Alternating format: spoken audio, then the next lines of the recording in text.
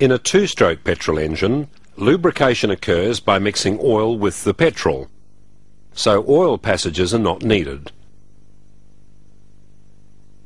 And if, like many two-strokes, air cooling is used instead of liquid cooling, there's no need for coolant passages in the cylinder head.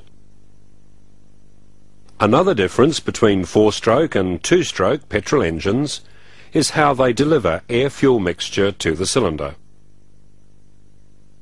In a two-stroke petrol engine, separate passages called ports let air-fuel mixture into the crankcase and cylinder and exhaust gases out.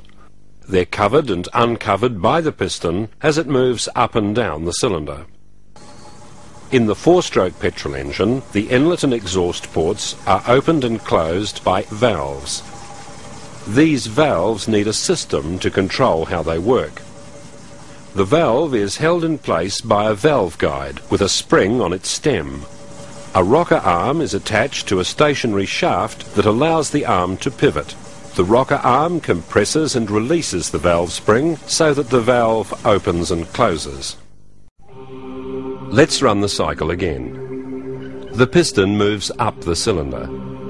The top of the piston covers the exhaust port, the bottom uncovers the inlet port. Air fuel mixture enters and circulates in the sealed crankcase below the piston. The piston rises and compresses the mixture above it. A spark plug ignites it and it burns.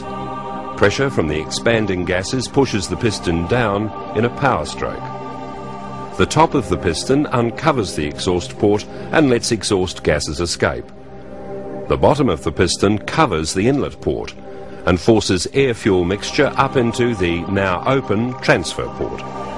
The piston reaches bottom dead centre and the crankshaft forces it back up to repeat the process. Notice which events occur above the piston. Compression of the air-fuel mixture into the combustion chamber, combustion for the power stroke, and scavenging of the exhaust gases. Notice the events that occur below the piston. Intake into the crankcase, pre-compression of the air-fuel mixture in the crankcase, and the transfer of mixture from the crankcase through the transfer port and into the combustion chamber.